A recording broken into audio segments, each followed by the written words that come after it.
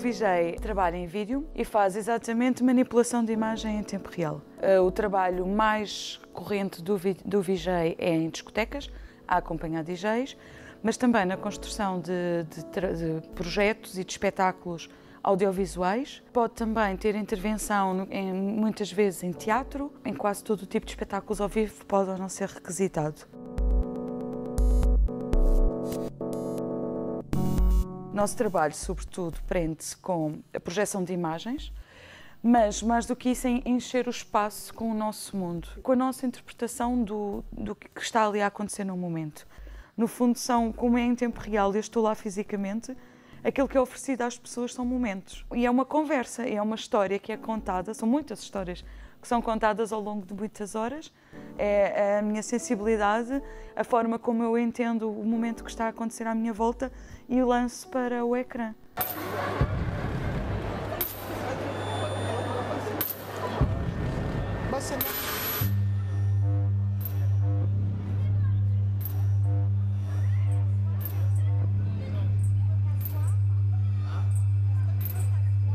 Mapping, na prática, consiste numa técnica e numa linguagem em que sobrepomos eh, uma imagem igual a um objeto físico. Eu estou a fazer uma tese mestrada em, em videomapping em fachadas arquitetónicas. Portanto, neste caso, consiste em projetar sobre uma fachada arquitetónica uma imagem igual a essa fachada.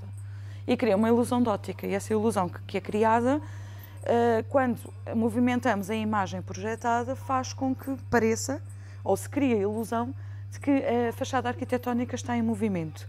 E com isso podemos criar todo o tipo de fantasias.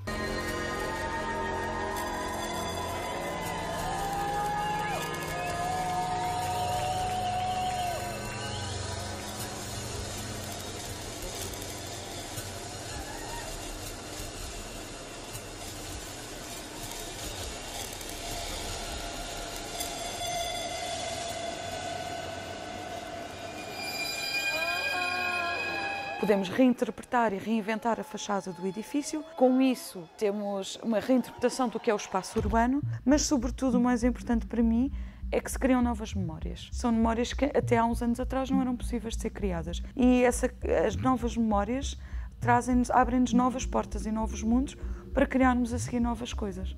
E essa criação de memórias, sobretudo no que é o espaço da cidade e o espaço urbano, que me parece muito importante porque vão interferir com o nosso dia a dia. Nós nunca mais vamos passar à frente daquele edifício, naquele espaço, da mesma forma.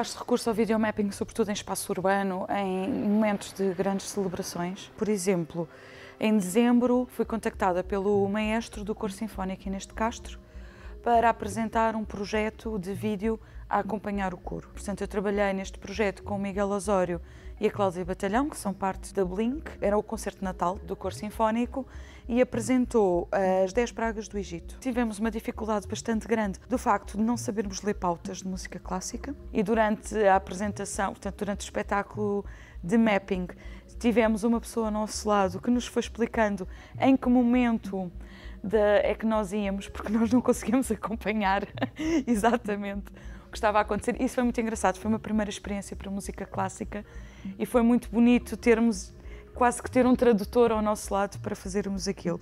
Estávamos dentro de uma igreja, que é essa velha de Coimbra, com a história que ela representa, e projetarmos dentro de um espaço que faz parte agora do Património Mundial da, da Humanidade, com a história que a própria igreja já tem, e estarmos a deitar fogo às colunas da Sé Velha, podia até certo ponto ser um pouco mal interpretado, mas não, as pessoas perceberam perfeitamente o, o objetivo do que estávamos ali a fazer, acompanharam e no final muitas, muitas pessoas vieram ter connosco e vieram-nos agradecer.